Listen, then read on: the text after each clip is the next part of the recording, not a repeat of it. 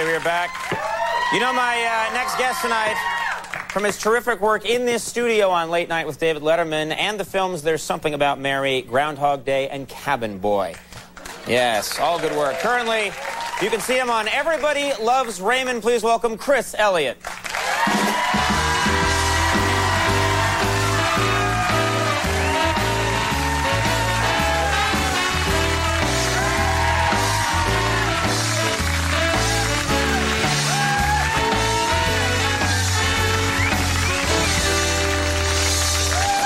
Too. Good to have you here, yes. A seat. Thank you. Yes. Thank you. Listen, uh, listen. Before we uh, start with anything, can I uh, say something very sincere to you? S- uh, Sure, I'd love to hear I it. do not kiss hind end in this business. Now, if you ask anybody, that is the truth. Um, you know, unless you're you're Spielberg, because you know you, you play that one wrong and they find your head on a pike. Right. But um, I want to tell you something. You are the real thing. You are not one of those Hollywood pretty boys, sir. You have it. Okay. Thank you very much. That's exciting. Who knew? That's exciting. That's great. And uh, and. Uh, That's, uh, I, I've never heard that before. That's very and, uh, exciting. everybody uh, tells me that your show is terrific too. So God bless you. That's great. you should check it out sometime. I would love to. It's on too late for me. TiVo, we could send you tapes. I don't know how to use that. Okay, perfect. I really don't. Now, how about this? Uh, you've been hanging out in the city for uh, a couple of days, I understand. How do you, how do you feel? It's just like uh, This the weather, is man. unbelievable. Yeah. you guys have all been out there. It's just incredible. I, you know, I. I don't want to be paranoid, and I, I don't want to be, you know, kind of, uh, I don't know, an alarmist here, but um, has it occurred to anybody that Al Qaeda may have dropped a snow bomb? Never thought of that. Well, I, wouldn't put it past those bastards. What are those devils? I would not do that. Uh huh. But, Well, I, I uh, hope. I mean, because we had so much. We had the 20 inches here. Did you have any a lot of trouble trouble I'm up- getting up here? in Connecticut. No, I didn't have. Uh, I took a snowmobile down actually, and uh, you took a snowmobile here to the. and what I did was I picked up Dave and Regis because they live right near me. And, Really? Uh, yeah, I dropped them off first. I brought That them was down. nice of you. Yeah, there's always kind of a fight with those guys. You know, who gets to sit in the middle. You know, there's always that kind of thing. But uh, you know, and then the damn New York Post. You know, they're everywhere. They caught a shot of us. I don't know. I think you have it here. Uh, The shot coming down. the yeah, post? there we oh, are. that's not right. Yeah. I like your outfit. yeah. That's.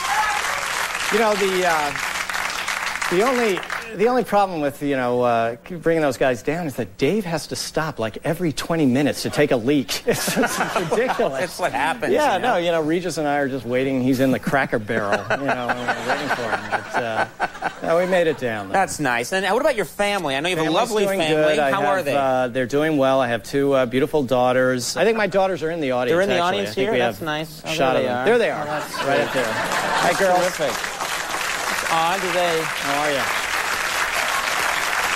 Have to? That's uh, that's just for security. That's just something I. You don't gotta want do. you, their, their identities are Yeah. protected and. I gotta say, I'm embarrassed. That actually is a Michael Jackson joke, and I gotta be honest with all of you here. I am sick and tired of the Michael Jackson stuff. Are, are we all Yeah, and exactly. tired? I mean, come on. This guy is a great entertainer. He entertained us for decades. I mean, uh, you know, enough is enough. Leave the guy alone. Uh huh. Uh huh. And I actually have spent many nights at the Neverland Ranch and had no problems whatsoever. So. You've spent a lot of nights there. Oh yeah, of course. I, I've been over. I've actually spent uh, a night in bed with Michael Jackson at the Neverland Ranch. So You a- were in bed with him.